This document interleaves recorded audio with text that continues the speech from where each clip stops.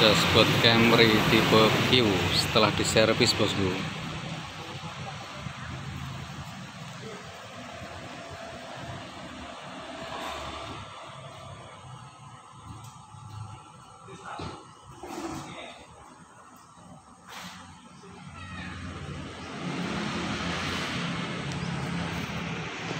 Tinggal kita pasang bosku.